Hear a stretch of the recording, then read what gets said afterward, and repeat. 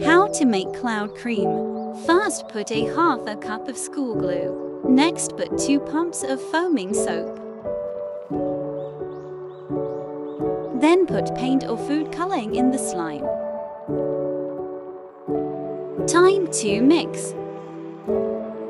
Then put 1 teaspoon of instant snow. More mixing. Now put a quarter teaspoon of baking soda. I'm adding 1 teaspoon of saline solution. You can also use borax. Now keep on adding saline solution. As you can see, it's almost done. Time to take it out.